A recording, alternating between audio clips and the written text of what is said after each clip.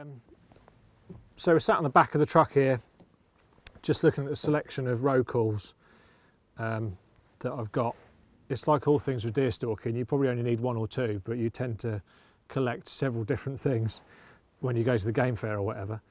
Um, but first of all, when you're going to call the roe deer up, you need to know what the wind's doing. So obviously if it's a stiff breeze, you can tell yourself which way the wind's coming from. But if it's just a light, gentle breeze, then you can check the wind with uh, the wind powder, or if you use a lighter, and that will blow in the direction that the wind's coming from. So they're quite handy to have in your pocket. Um, and then we've got probably the most common call of the lot and probably the best one as a, a starter call for everybody. It's the Buttolo call, which you just operate by pressing down with your thumb. I've got a little lanyard on this because I usually have it hanging off my binoculars or my belt when I'm out stalking. Um, and I probably use it more for stopping deer to take the shot on them than actually trying to call deer up.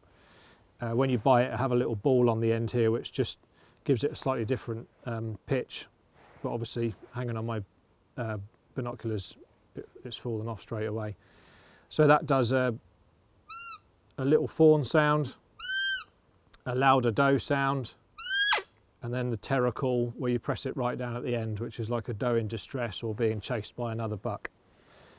So with all the calls, you're trying to imitate a roe kid that's calling to its mother, and hopefully the doe comes to see that it's okay, and a buck will come in to see if the doe's there, or you're making a sound like a doe calling to its kid, or obviously in distress, in which case the territorial buck might come and have a look.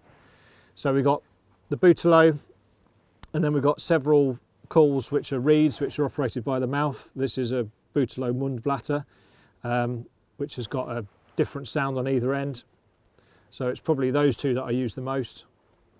This one's louder than the, the thumb operated Buttolo. So if you need to get a longer distance on the call, go for the mouth ones. There's a Nordic roe call, which is really loud. Uh, this is a wooden version of the, the plastic one. Uh, the little Hubertus cherrywood call, which I find best for muntjac. You can change the pitch of it with a little dial at the top here.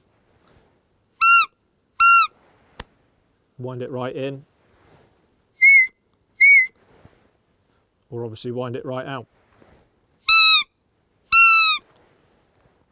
Um, and then there's this little set of calls here, which I've never really used to be honest, but I think someone gave them to me. Again, one does a, a kid sound and one does more of a doe sound. And then obviously, like all things with deer stalking or fishing or anything with field sports, we all like to have a go at making stuff ourselves. So there's a bit of a homemade roe call out of a roe antler, which is okay, but it doesn't work as well as the shop ones. Uh, and then another one out of a muntjac antler, uh, which has got a little um, pet toy squeaker in the end of it, which sounds okay, but it's probably not as good as the, the, um, the proper calls that you buy from the shop. So that's it really. So those are the calls that I have. Uh, like I say, always have the Buttolo on you and then take a, another mouth call with you as well.